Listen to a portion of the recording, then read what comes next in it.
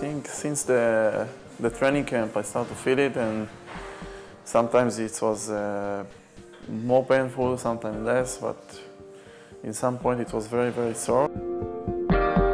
Twee weken geleden, na de, na de wedstrijd, kloeg hij toch van meer pijn in die knie, klikkend geluid.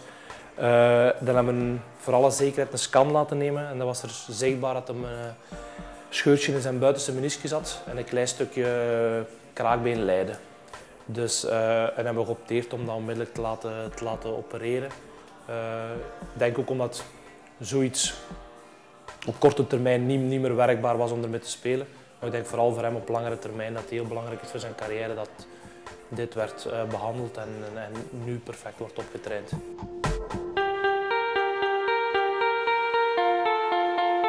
It's very frustrating for me also to, to do it in this moment, in the begin, beginning of the season. Uh, now it's so important uh, period for us, we must take points.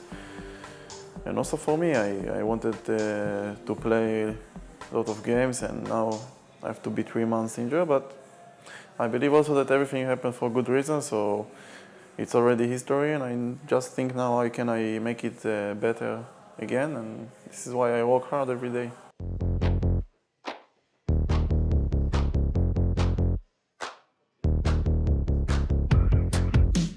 My career I, I started in Belgium I can say because I came to Standard from a second division in Israel and I, I had a lot of experience with in this year in Champions League and Europe League.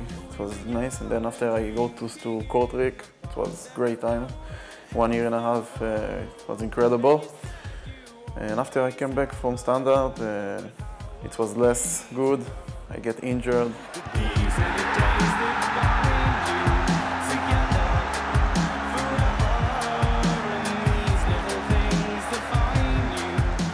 Actually, it's maybe the the best experience I ever had in football to to play for Celtic because I, I, cannot explain you how is it until you, you will go there and see it. Um, but you know, I always say to my friends, it was nice and everything, but when you are not playing, you don't care about uh, all the rest. So I prefer to be in a in a less uh, big club, but play everything every time and maybe progress again uh, after afterwards.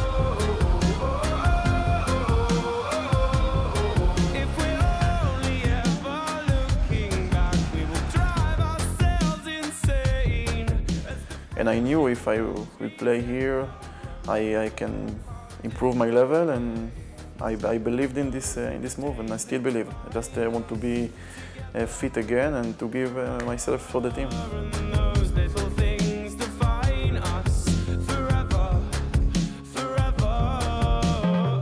I will not be sad if I will stay here a few years because it's a very uh, nice club and the people is nice and everybody is friendly. And if I will stay here a few years, I, I will be thankful as well.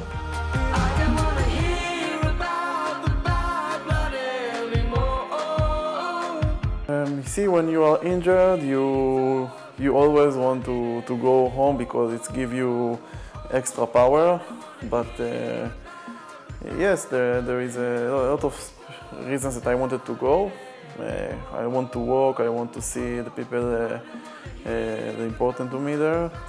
Um, it's going to be very quick, so I don't think uh, somebody will notice. You're a very religious guy. Yes, uh, actually this is one of the reasons I go back to Israel. Uh, I want to see the people that helps me to be close to the religious and it's very important for me if I have the opportunity to go and this is one, the main reason I go. Do you sometimes pray for a quicker revelation? Every day. Every day actually, yes.